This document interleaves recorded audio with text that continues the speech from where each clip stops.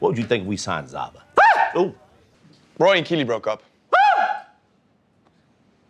I broke up with her. What? Yo! We've got Zava! We've got Zava!